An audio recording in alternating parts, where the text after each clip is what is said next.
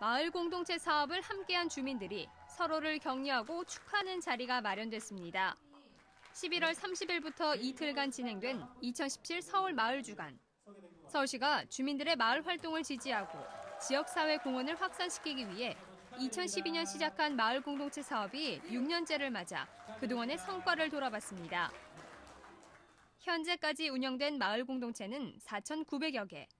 함께한 시민은 12만 8천여 명입니다. 특히 일회성이 아닌 지속적으로 여러 사업에 참여한 시민은 사업 초반 300명 수준에서 1,800명대까지 늘어났습니다. 시작했을 때는 아무래도 뭐 이게 뭔가 해서 사람들이 좀 뭐 하여튼 갸우뚱했어요. 처음에 이게 뭔가 해서. 근데 이제 지금은 저희 마을에서 어 없어서는 안 될 어떤 그 문화 강좌도 있고 또 주민들의 사랑방 역할도 하는 아주 편한 공간이 됐습니다. 이처럼 괄목할 만한 성장을 보였지만 주민들이 품앗이로 시작한 일들이 마을 공동체로 자리 잡기까지 쉽지만은 않았습니다. 주민들의 참여가 활발해지자 함께 활동을 할 수 있는 공간에 대한 고민이 늘었습니다.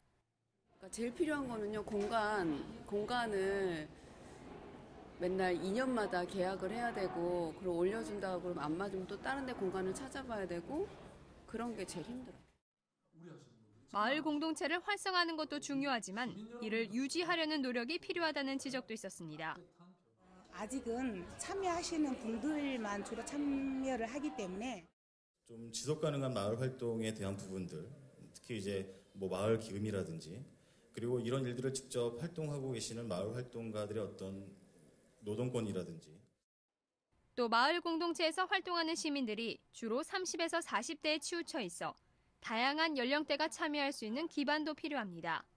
어, 별로 어렵지 않게 공동체 관심도 갖고 참여도 해보고 뭔가 그 안에서 일거리도 찾아볼 수 있고 또 함께 어떻게 살 수 있을지 모색도 하는 그런 좀 더 넓은 장들이 많이 만들어질 수 있도록 한 해를 마무리하고 6년간의 활동을 되돌아본 2017 서울 마을 주간.